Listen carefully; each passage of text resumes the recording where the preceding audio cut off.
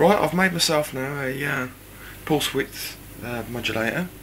I'm just going to hook this up. And if we, if we can look at this now, uh, we've got a signal on it.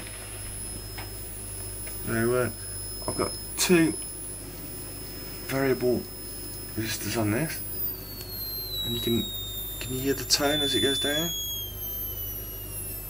And then like uh, you can make it go back up again, and also you can affect the duration of how long it's on for.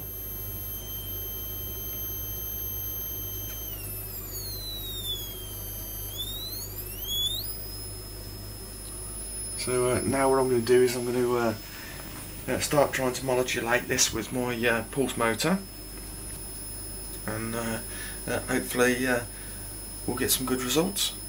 That's great.